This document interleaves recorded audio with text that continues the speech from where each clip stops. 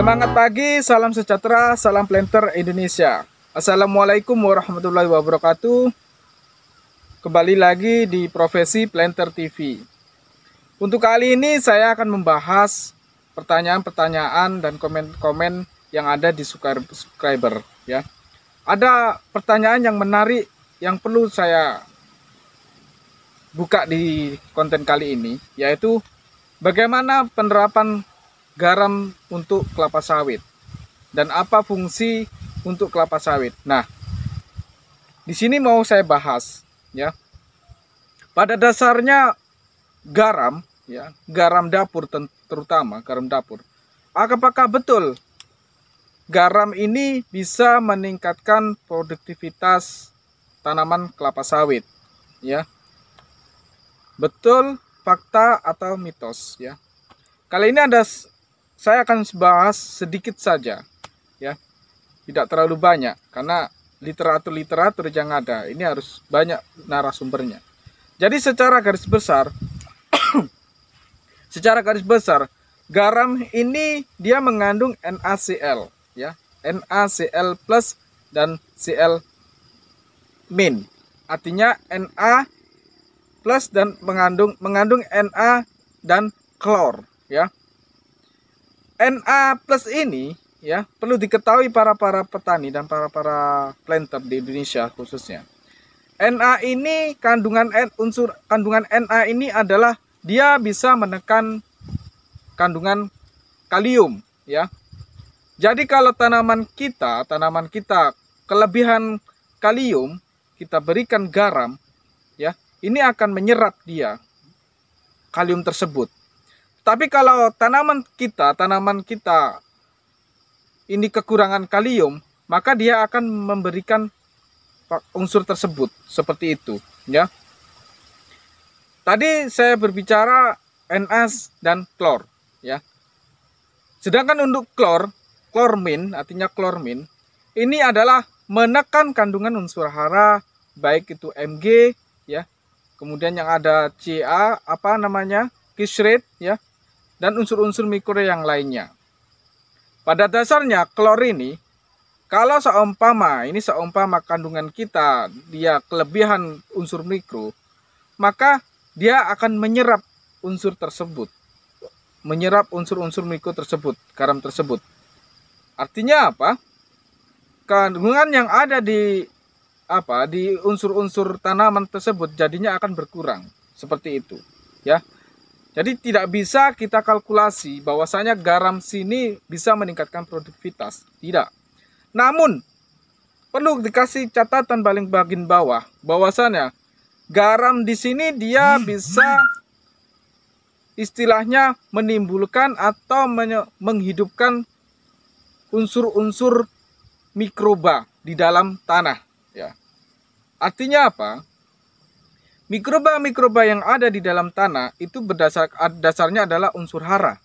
Unsur hara nitrogen, fosfor, kalium, Mg, Ca, sulfur dan lain-lain. Ya, dan lain-lain. Jadi, kalau seumpama tanah pasir atau tanah marginal yang pada dasarnya dia tidak ada kandungan unsur haranya, yang tidak pernah kita lakukan pemberian baik itu pupuk organik maupun pupuk anorganik kemudian kita kasih garam. Secara logika dia menghidupkan mikroba dari dari unsur-unsur hara yang ada. Kalau tanah tersebut tidak ada unsur haranya bagaimana dia bisa menghidupkan unsur hara apa mikroban tersebut? Secara logis seperti itu ya? Dan yang kedua unsur hara unsur hara yang ditimbulkan terkecuali terkecuali seperti ini ya. Terkecuali ini ya terkecuali. Ini menurut pandangan saya ya. Kecuali kalau garam ini dia kita campurkan dengan pupuk kandang ataupun pupuk kotoran atau pupuk kompos ya. Dan seperti sejenis itulah ya. Artinya dia bekerja sama antara pupuk kandang tersebut untuk bersama-sama untuk menghidupkan yang mana kandungan pupuk kandang maupun pupuk kompos ini dia kan ada kandungan unsur haranya. NPK dan lain-lain kan ada. Nah, garam di sini dia hanya membantu untuk menghidupkan mikroba-mikroba yang ada di dalam kandungan unsur hara tersebut, di dalam pupuk kandang tersebut, di dalam pupuk kompos tersebut, ya. Bisa dipahami ya. Seperti ini. Jadi kalau seumpama kita kembali lagi kalau tanah pasir tidak ada unsur haranya, kita kasih garam tanah tersebut, jadinya nggak ada yang bisa dihidupkan oleh garam ini seperti itu, ya. Jadi wanti-wanti saya tidak me, tidak bisa memberikan rekomendasi bahwasanya garam di sini bisa digunakan untuk memaksimalkan produksi buah belum bisa. Kalau menurut saya belum bisa dipastikan. Karena apa? Karena itu tadi dia kandungannya cukup rumit ya. Saling berhubungan dengan antara unsur hara yang lain dan mikroba yang ada di dalam tanah. Ya. Takutnya apa? Dalam jumlah besar, kita pemberian garam dalam jumlah besar, dia bisa menekan kandungan kalium, ya. Kandungan kalium yang ada di tanaman itu bisa ditarik sama garam, ya, paham ya? Jadi Contoh ini, tanaman kita sudah kaliumnya sudah mencukupi. Kaliumnya sudah mencukupi. Artinya kalium itu apa? Kalium itu adalah untuk memproses, untuk membantu fase generatif. Generatif itu apa? Generatif ini untuk membentuk bunga dan buah. Jadi kalau kalium ini kita berdirikan, ya, kalium sudah ada di tanaman kita. Kemudian kita kasih garam dengan jumlah banyak.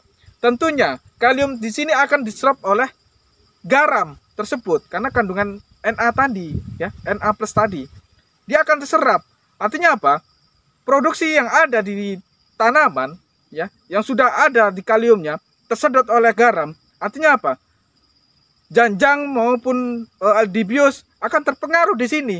Makanya ada mito, ada yang mengatakan pemberian garam, ya mungkin para sahabat-sahabat planter bisa pernah dengar.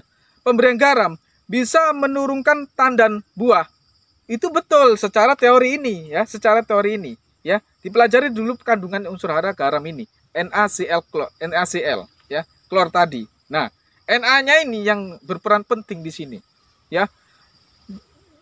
Na ini plus ya. Artinya plus itu berarti besar dia kandungannya.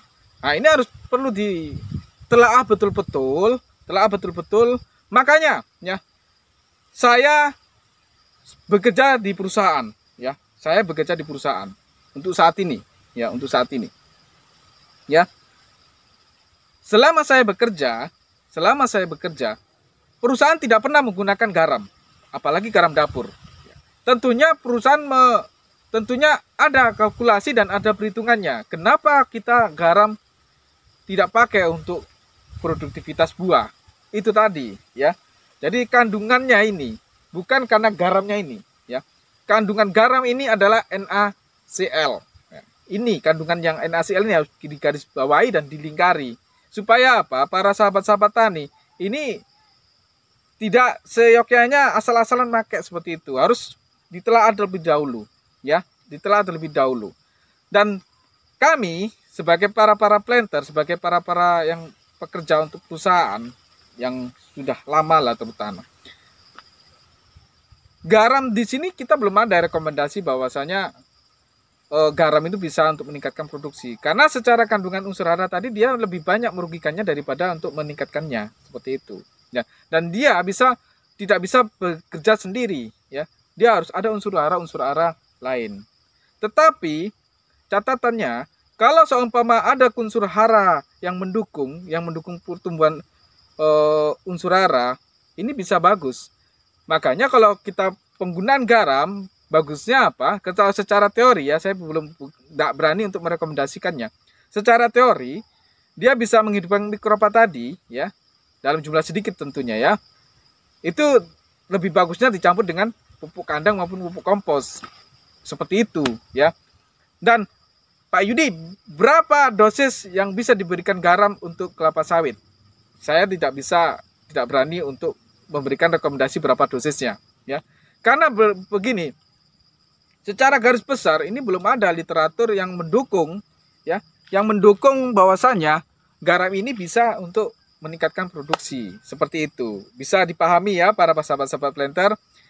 Sekilas sedikit saja informasi tentang garam dapur untuk perkebunan kelapa sawit tentunya mudah-mudahan ini bermanfaat dan bisa ditelaah oleh para para planter dan para sahabat-sahabat tani sebelum kita melakukan atau praktek di lapangan tentang garam ini sebaiknya bisa dipelajari eh, kandungan unsurannya garam tadi. Semangat pagi, salam planter Indonesia.